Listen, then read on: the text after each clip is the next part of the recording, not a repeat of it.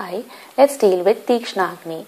Tikshna means uh, intense or very powerful. Pitta abhimurchite Tikshno. If the Samana Vayu is associated with Pitta dosha, we term that Agni as Tikshna Agni.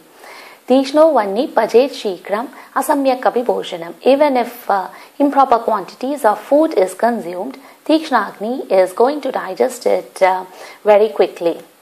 That means uh, the dietary plan for a person with Tikshna Agni is definitely not going to be the plan for a person with Manda Agni or Vishamagni. So that is it for now. We'll deal with the diet plans for each type of Agni shortly. Thank you.